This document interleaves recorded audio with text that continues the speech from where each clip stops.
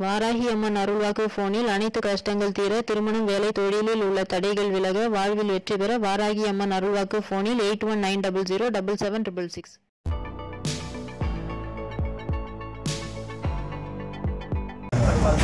அம்மா வணக்கம் இருக்கு. உங்க இதுவெல்லாம் நல்லா பார்த்துருக்கேன் தேங்க்யூம்மா ஏய், சூப்பர். நல்லா இருக்கு. சாரை பத்தி தெரியுமா உங்களுக்கு? நல்லா நிறைய படம் பார்த்துருக்கேன். ஏம்மா அறுவடை நாள்னு ஒரு படம் பிரமாதமான படம். அப்ப ட்ரெண்ட் செட்டு அதை டைரக்ட் பண்ணவர் இவரு. உங்க பேர் சார்? சின்ன. பையன். ஜி எம் குமார்னு பெரிய டைரக்டர் தமிழ்ல. சிவாஜி இருக்கார்ல. சிவாஜி கம்பெனில முதல் படம் பண்ணவர். பெரிய அது சிவாஜி பையன் பிரபு இருக்கார்ல? அவருக்கு பெரிய பேரை வாங்கி கொடுத்தது இவர்தான். அந்த படம் தான் அறுவடை நாள். இந்த நாள் ரொம்ப பொண்ணான நாள் நினச்சிக்கிறேன். தேங்க்யூப்பா தேங்க்யூம்மா தேங்க்யூம்மா ஏதாவது ஒரு ரோல் சின்ன ரோல் வந்தால் கூட சொல்லுங்க சார். கண்டிப்பாக சொல்கிறேம்மா கண்டிப்பாக நான் வெளியூர் கச்சேரிலாம் வேணான்ட்டேன் வெளிநாடு கூப்பிட்றாங்க அதையும் வேணான்ட்டேன் ஏன் வெளிநாடு போங்கம்மா? நல்ல விஷயமா? பதினஞ்சு நாடு போயிருக்கேன் சார். ஓ நிற்காதீங்கம்மா உடம்பு முடிய வரைக்கும் போங்கம்மா. இல்லை இப்போ முடியல. கழுத்து வலி அது இருக்கு. அதனால ஏதாவது ஒரு சின்ன ரோல் வீல் வந்தால் மறக்காதீங்க சார். என்ன கண்டிப்பாக கூப்பிட்றோம்மா பண்ணது ரொம்ப சந்தோஷம். முப்பது வருஷத்துக்கு அப்புறம் உன்னை மீட் பண்ணுறேன் உங்ககிட்ட நான் ஒரு முக்கியமான விஷயம் சொல்கிறேன்.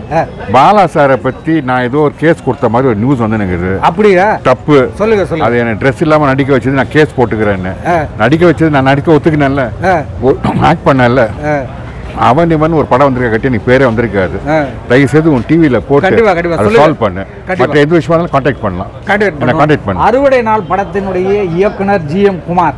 அந்த காலத்தில் அறுவடை நாள் படம் தான் வந்து தமிழ் சினிமாவில் ஒரு ட்ரெண்ட் செட்டாக வெளிவந்தது. சிவாஜி ஃபிலிம்ஸில் அந்த படத்தை டைரக்ட் பண்ண முதல் டைரக்டர் இவர். சிவாஜி ஃபிலிம்ஸில் அந்த படத்தை டைரக்ட் பண்ணி அதில் பிரபுவே கதாநாயகனாக நடித்தார் மிகப்பெரிய இயக்குனர். இப்போ திரைப்படங்களில் நடி நடிச்சிட்ருக்காங்க. அவங்கள தான் இப்போ நம்ம சந்திக்கிறோம். G M GM Kumar sir இப்போ சொன்னதை நீங்கள் கேள்விப்பட்டிருப்பீங்க. பாலாவுக்கும் அவங்களுக்கும் தகராறு இருக்கா என்ன அப்படின்னு அவங்ககிட்ட கேட்குறோம் அதை பற்றி அவங்க சொல்கிறாங்க ஓகேயா?